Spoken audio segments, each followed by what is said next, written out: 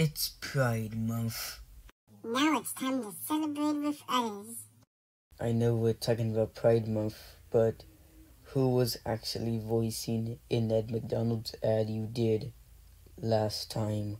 It was me. I did it. Me, Kello, did it.